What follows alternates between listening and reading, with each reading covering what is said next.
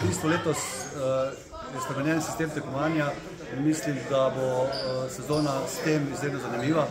Vsi, vse ekipe bojo pač eh, grizle do konca prvenstva in si želeli ustvariti čim boljši rezultat.